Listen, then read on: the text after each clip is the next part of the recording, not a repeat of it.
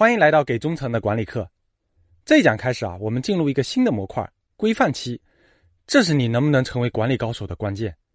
我有个朋友是一家公司的副总，绝对是女超人，我就没见过她下过班。我还真以为啊她是喜欢工作，但回头啊她却告诉我，没办法，下属教不会，只能自己干。很多中层管理者都是这样，业绩啊全靠自己一口气撑着，根本不敢休假。如果你也是这样，那么这个模块非常适合你。希望你学完后啊，早日给自己放个长假。怎么能让自己安心休个假呢？你要先完成两个目标，一个是让团队能够可复制、可持续的完成战略任务，另一个是能够有效的提升下属的能力，推动业绩达成。也就是说，这个阶段你的首要任务就是搭建成熟的流程制度，以及啊给下属赋能。哎，有人会担心，你不怕员工成长了被竞争对手挖走吗？这个问题啊，我专门请教过一位 CEO。他给我的答案特别有启发。他说：“我更怕我的员工不成长，还一直待在我的团队。要知道，这个阶段提升下属能力、出业绩才是正确的打开方式。所以，在这个模块的开始，我先拿两讲来跟你说一说怎么做好员工能力的培养。很多人会说，员工能力不行，那就培训呗。可是啊，培训很容易犯的一个错误叫做缺啥补啥，下属缺哪方面的能力。”就给开哪方面的课，能力不行补能力，心态不行补心态。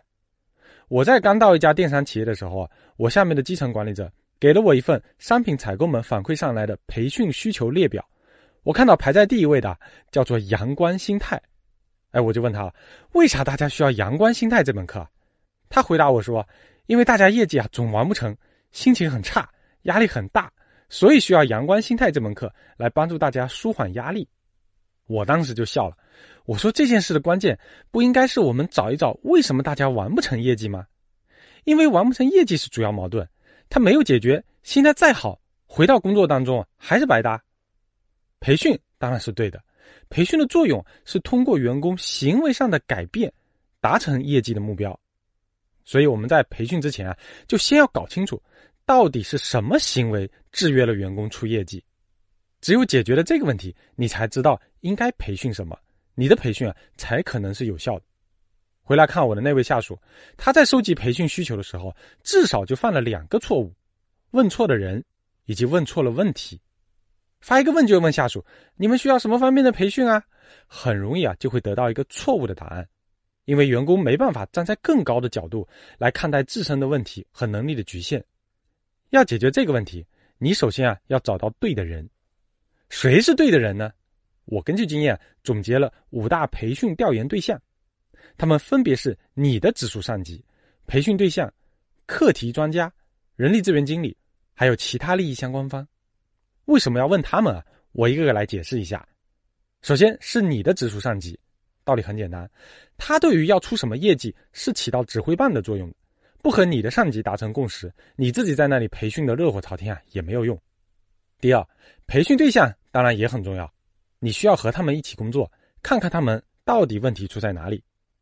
第三是课题专家，他们可能是内部的高手，也可以是外部的专家。总之啊，他们对于这个领域有丰富的经验和专业的知识。第四啊，是人力资源经理，他们往往能够从业绩的角度告诉你不同的行为下被培训对象的业绩表现。第五，和被培训对象有合作的利益相关方。他们可以是内部的兄弟部门，也可以是外部的客户。从对这五类对象的调研中，你才可能定位出制约员工出业绩的原因，也就是真正的培训需求。找准对象还不够，你还要问对问题，总不能像我那个下属一样，直接问你觉得被培训对象需要什么培训，那么你只会得到一堆类似于阳光心态类的似是而非的答案。我在文稿区啊放了一张培训信息收集表。我拿一个我自己的经历来完整的和你演示一下这个工具具体该怎么用。在当时啊，我要做的不是一个大而全的调研，而是针对当下最紧急、最重要的任务找到突破口。所以第一步，我就找到了我的上级，首席商品官啊，也就是 CMO。我就问了他，他对于培训对象，也就是我团队的采购们的业绩期待是怎样的？对当前我们采购们最不满意的点是什么？CMO 的回答是这样的：他说啊，他的业绩期待是希望今年的合同谈判的返点能够提升两个点，但是目前采购人员的谈判水平低下，导致在过往的谈判中，我们和供应商要过来的返点远远低于业界的平均水平。哎，于是我就得到两个重要的信息，那就是业绩目标提升两个点的合同谈判返点，业绩差距合同返点低于平均水平。你还可以补充几个支持性的问题，比如这次培训 CMO 能够出多少预算，他是不是可以参与到培训的设计中来？当时啊，CMO 给我的答案是希望以内部培训为主，当然他非常愿意以各种形式参与到培训的设计中。好，获得了 CMO 的支持之后啊，接下来第二步我就来找培训对象，也就是这些商品采购进行调研。你直接问他们啊，你需要什么培训，他们可能自己也说不上来。甚至你也不方便直接问他们说你们的能力有什么欠缺的地方，他们会担心自己说了之后啊被贴上一个能力不行的标签，怎么办呢？哎，你可以这么问：如果有个同事在这个任务上表现不好，最有可能的问题会出在哪里？或者啊反过来也行，如果有同事在这个任务上表现的异常出色，那么他最有可能的原因是什么呢？这两种方法都可以帮助你更好的。避开一些敏感的话题。我当时是这么问的：“我说，你们在和客户谈判的时候有什么流程吗？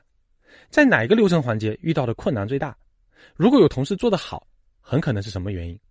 哎，记住啊，你要随时追问他们，把他们在完成任务的时候在不同环节的具体表现作为你调研证据的产出。他们告诉我，合同返点谈判主要有四个环节：谈判条款设计，约供应商进行三轮左右的谈判。”内部资源协调和谈判结果落地，他们在谈判条款设计上遇到最大的挑战。这个时候你就要进行追问了：为什么他们会在谈判条款设计这个环节遇到挑战？啊，原来我们这些采购啊，不知道怎么去向供应商去要他们市场部的费用。供应商啊，在别的电商平台的市场费投入是我们的两倍。哎，那么你就要继续接着追问他：为什么你们不去要市场部的费用呢？原来啊，我们的采购不知道拿网站上的什么资源去和对方的市场部去换。那为什么我们的采购不知道自己有什么资源呢？啊，到这里啊，采购们自己也答不上来了，反正就是不知道。看起来线索在这里就断掉了，我还得去找其他的人来继续聊。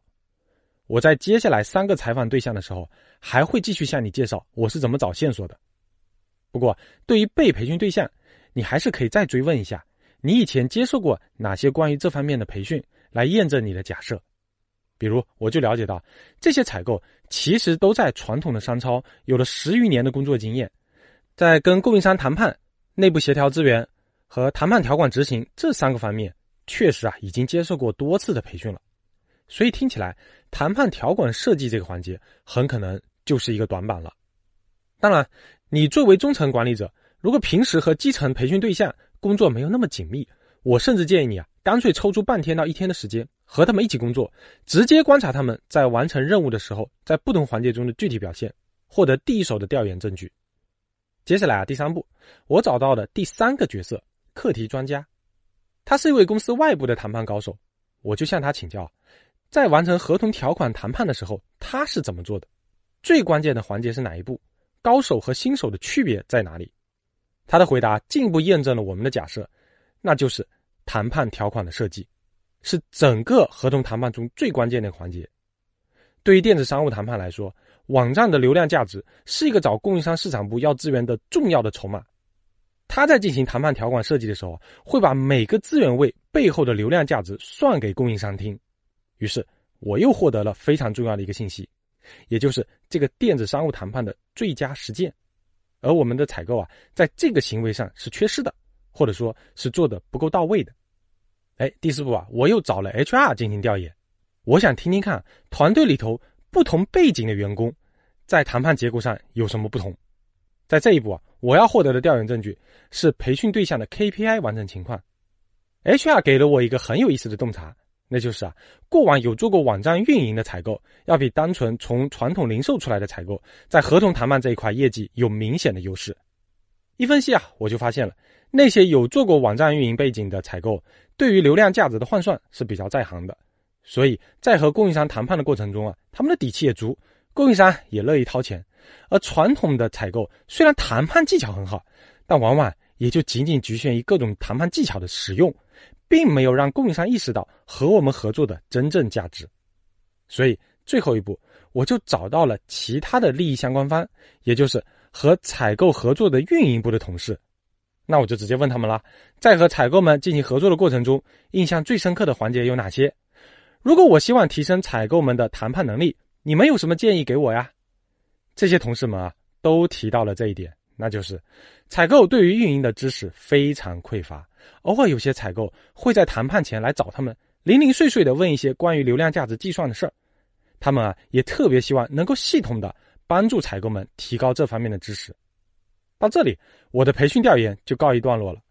经过调研，我发现。我真正要解决的不是笼统的谈判技巧，该邀请的也不是所谓的谈判技巧的高手，而是要帮助采购们建立起对网站流量价值计算的能力，并帮助他们用这些筹码设计谈判条款。后面我们按照这个思路，请了公司内部的运营部的同事重新设计了培训项目，最终啊也一举达成了合同谈判的返点目标。好，总结一下。这个模块是你管理内功的又一次升级。这一讲先来解决一个特别重要的问题，那就是怎么培养员工。不能一上来就拍脑袋做培训，你要先搞清楚你要培训什么内容，也就是要做好需求调研。不要只问员工本人，而要调研五大对象：你的直属上级、培训对象、课题专家、人力资源经理，还有其他利益相关方。不要只会问培训对象。你们需要什么样的培训？而是要挖掘出制约员工出业绩的真正原因。在这里啊，给你留一道思考题：你在做培训需求调研的过程中遇到过哪些挑战呢？欢迎在留言区和我分享。欢迎来到给忠诚的管理课。上一讲我从自己的经验里给你总结了一套调研员工培训需求的方法，但很多时候调研完你会发现不止有一个培训需求，这个时候你该怎么安排培训呢？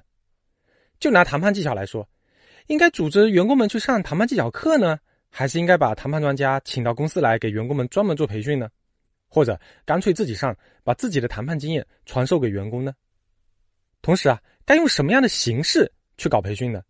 是把员工拉到酒店或者山庄里做一次封闭的训练营，还是在公司开讲座，或者是拉上几个骨干员工，专门给他们搞一次内部的分享？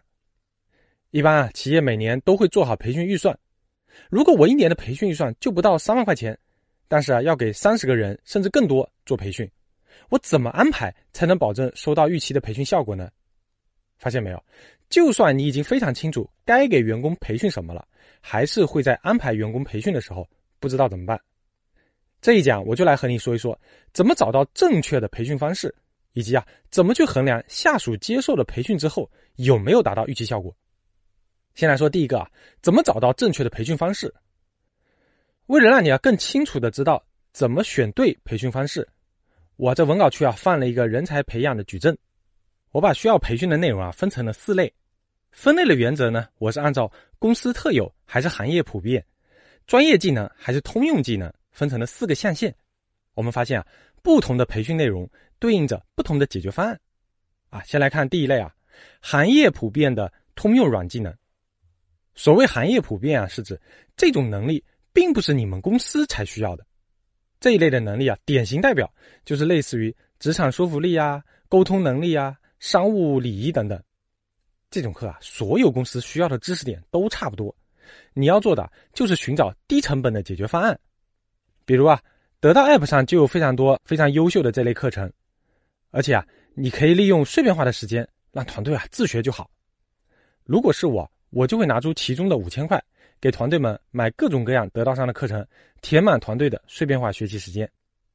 第二类是行业普遍的专业技能，比如团队管理能力，所有的公司和团队都需要，但是啊又非常的专业。最好的办法就是请内外部的培训专家直接来给你们上课，你没有必要去重新发明轮子。类似的课还有大客户销售技巧课、运营增长类的课程等等。如果是我，我就会花掉我剩下预算的大部分，也就是两万块左右，邀请最优秀的培训师，在最关键的能力上给我的团队授课。第三类啊，是你们公司特有的通用软技能，比如领导力、胜任力模型等等。很多公司啊都会请外脑和团队共创，因为你没有办法把别的公司的领导力或者胜任力模型套到自己的团队身上。当然，这里的外脑可以是专业的咨询公司，那么你可能需要向公司决策层额外申请预算；也可以是公司内部的 HR，那就完全免费喽。总之啊。他们是外部的专家，他们有现成的模型，而你呢更懂得你们团队的实际情况，所以结合共创是最好的。第四类是你们公司特有的专业技能，比如像得到的品控能力，就是他们公司特有，但是呢又非常专业的一个技能。说实话，外部请来的培训师那肯定不如罗胖老师专业啊，所以这类课程没法指望别人。你必须亲自开发课程，亲自给团队上课。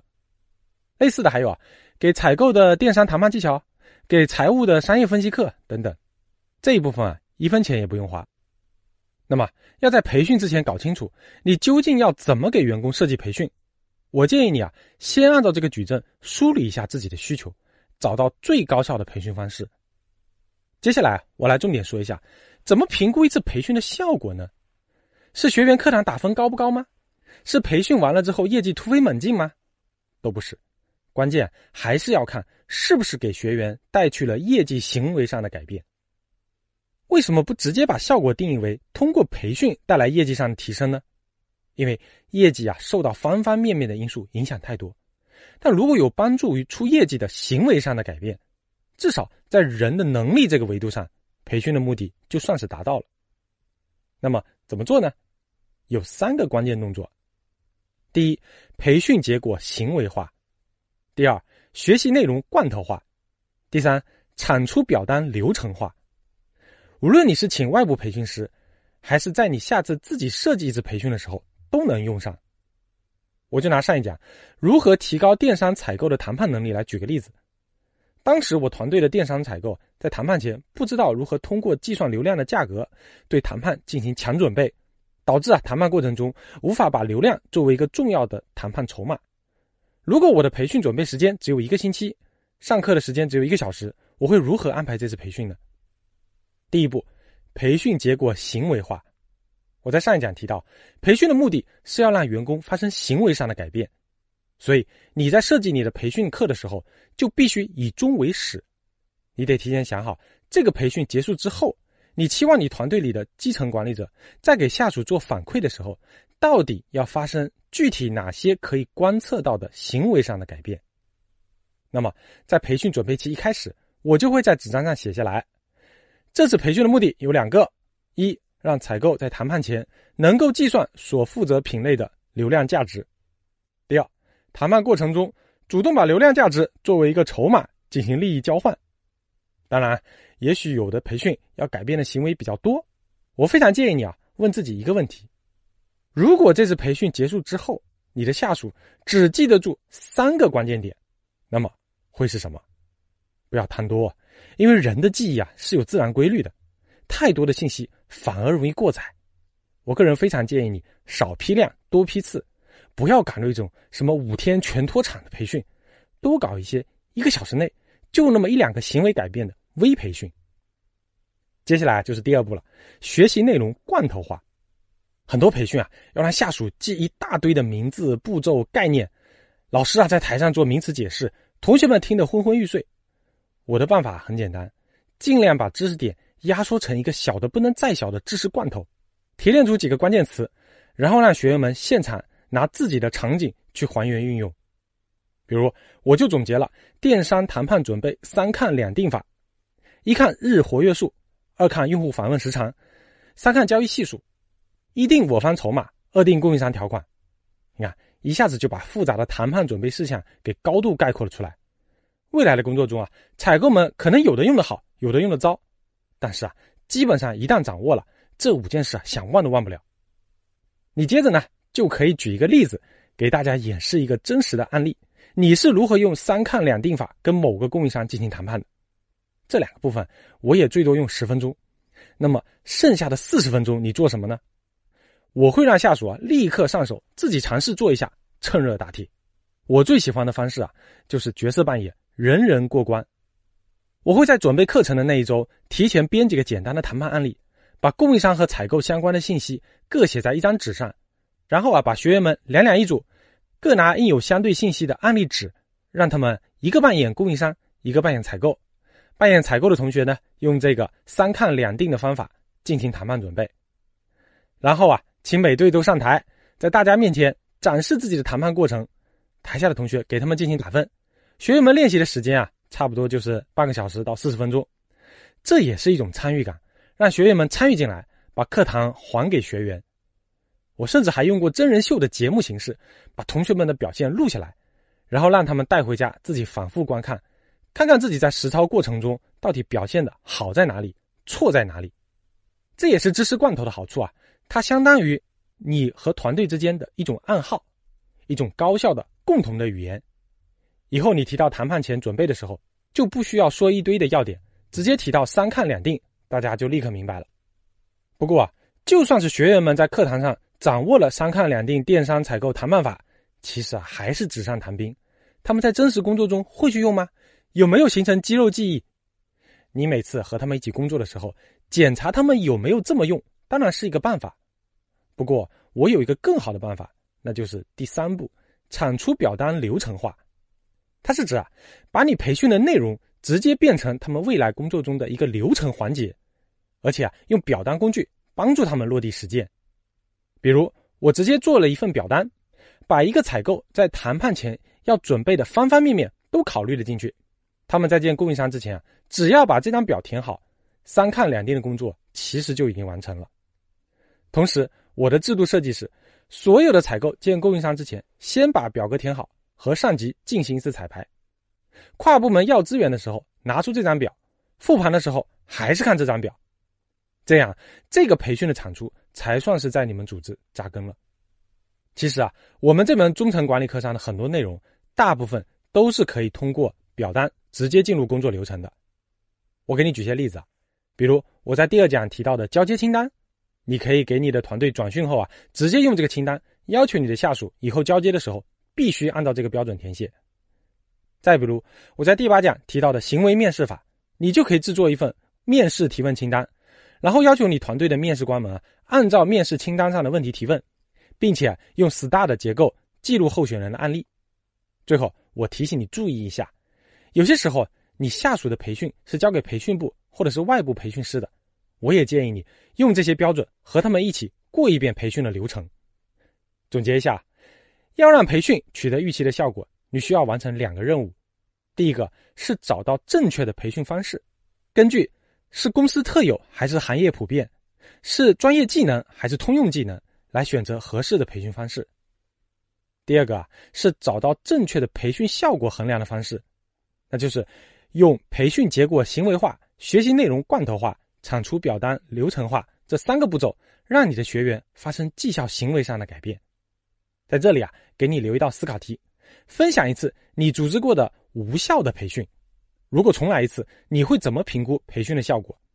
欢迎在留言区和我分享。